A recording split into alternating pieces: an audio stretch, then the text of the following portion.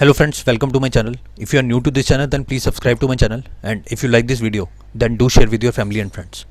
Today we will talk about the gray market premium. The gray market premium of two ipos one is Paras defense and another one is aditya birla sun life amc okay? First we will talk about the Paras defense.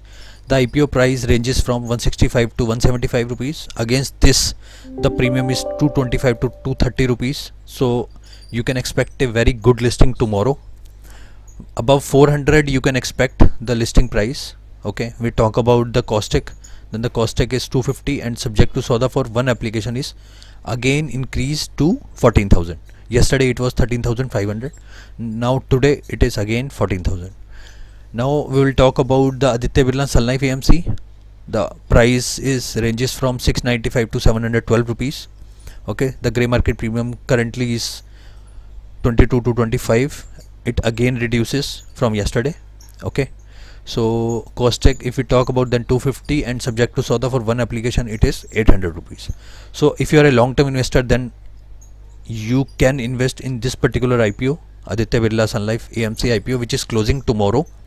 And if you are a short-term investor then uh, you can avoid this because the gray market premium is not as attractive as it was earlier okay? You can avoid this and you can buy from open market when it get listed. Okay. Hope you like this video. Thank you so much